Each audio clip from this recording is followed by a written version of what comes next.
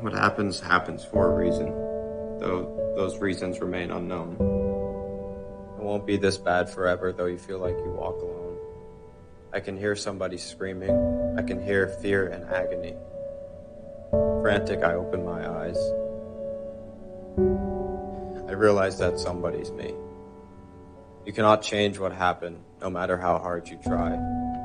You cannot turn back the hands of time, no matter how much you cry. The past is the past for a reason. That's where we should let it stay. Sometimes it's hard to let it go. Try not to let it eat you away.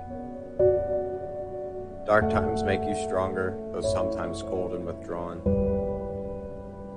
When it feels too much, remember, it's always darkest before the dawn.